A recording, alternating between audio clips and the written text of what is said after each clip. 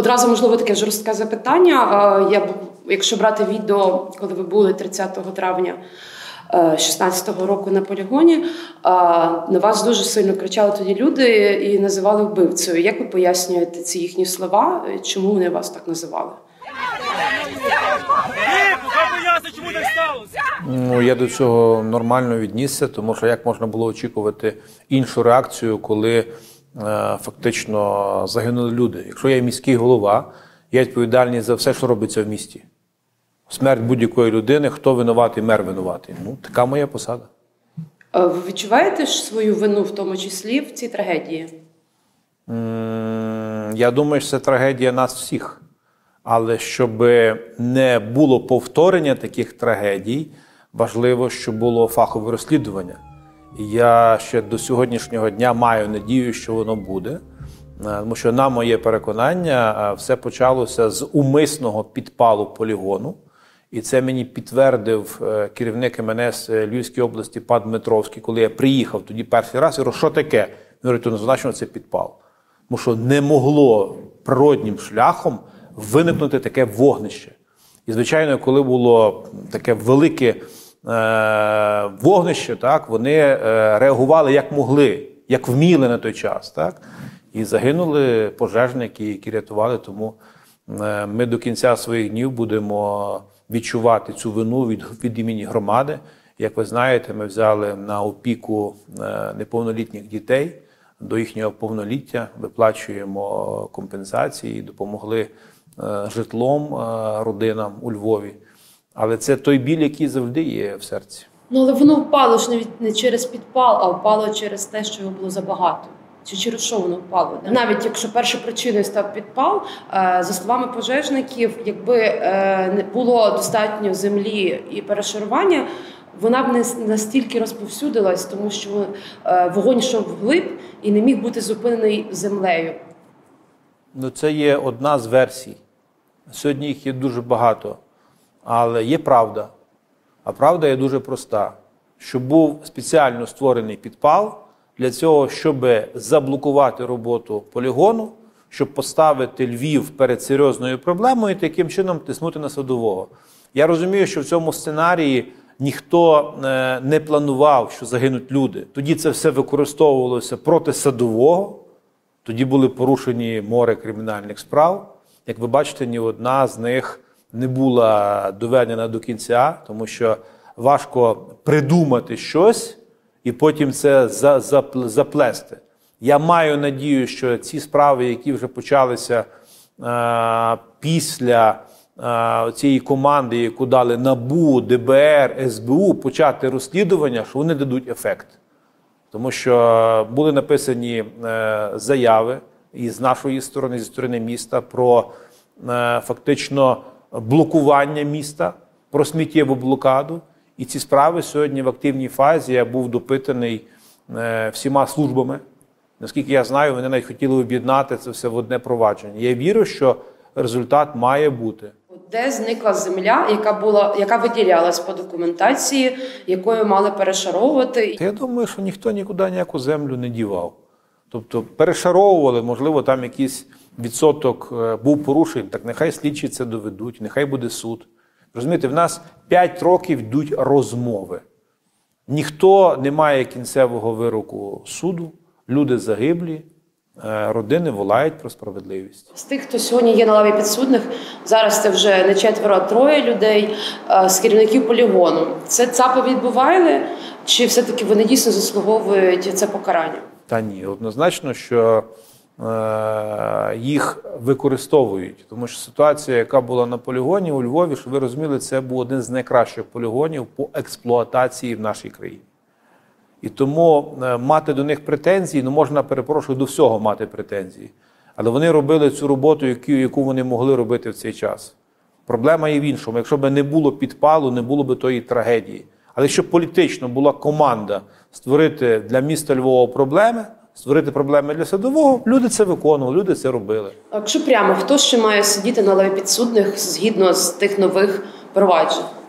Я думаю, ці люди, які давали команду, які підпалювали, які це все координували, які змушували прокуратуру, поліцію робити е, ліві фейкові там акти, порушувати ті всі провадження. Ну, Це була бурна імітація, яка не мала на меті вияснення правди.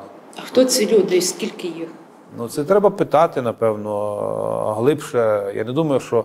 Ну, ви, ви, ви як журналіст, в принципі, можете це питання дослідити, так?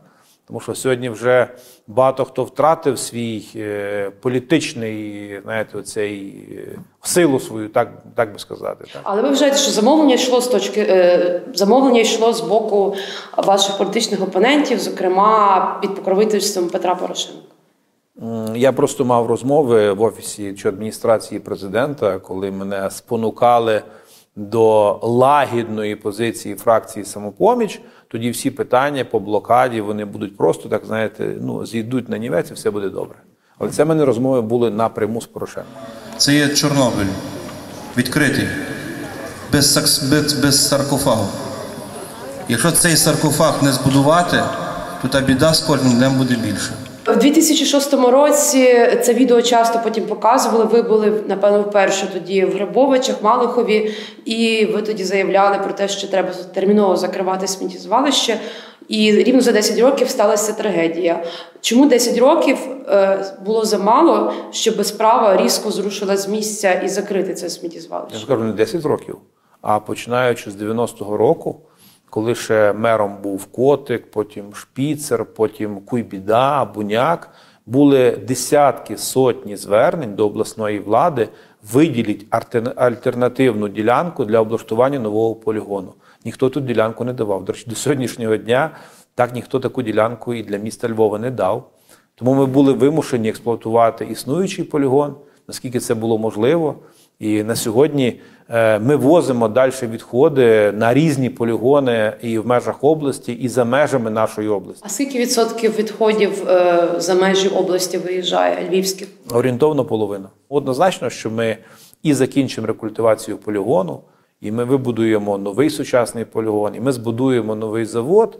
І це буде е, така наша лепта, щоб інші міста приїжджали і переймали досвід. На превеликий жаль, якщо ви сьогодні державі е, спитаєте членів уряду, хто відповідальний за поводження з ТПВ, одні скажуть, от Міністерство громад. А ті скажуть, ні, ні, це Міністерство екології. Чому, наприклад, в сусідній Польщі, в Чехії, е, в інших країнах е, збудована достатня кількість полігонів і якісно рекультивовані, е, ну, кількість заводів збудована, якісно рекультивовані полігони.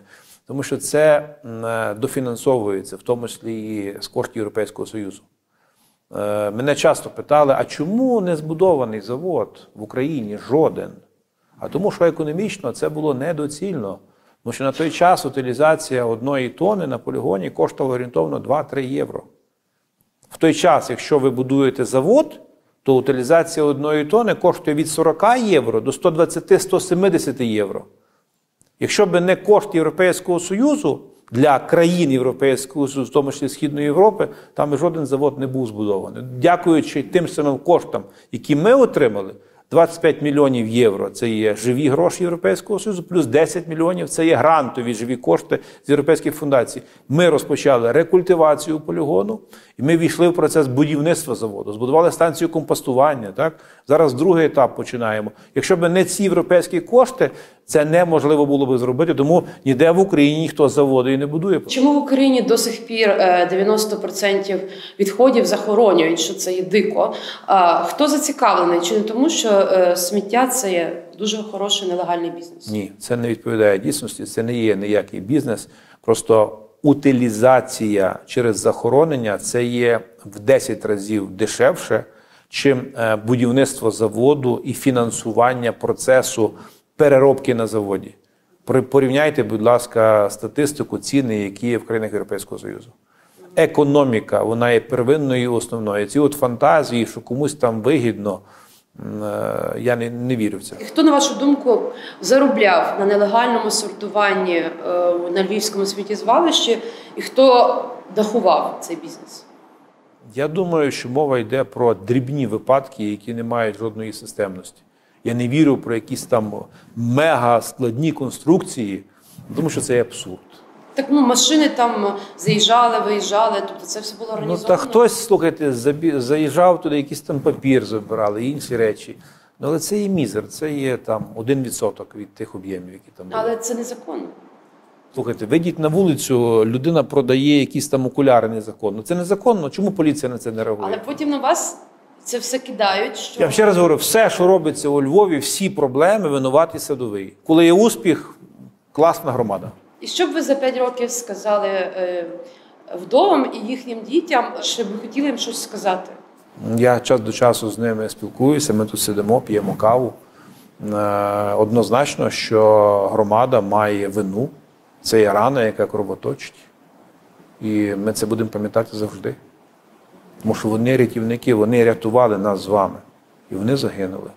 Тому вічна пам'ять їм. До кого ми приходимо сюди? До нашого тата. Ти його не пам'ятаєш? ні? Пам'ятаєш? Хіба ж у вісні? А ким твій тато два місяці. Пожежником.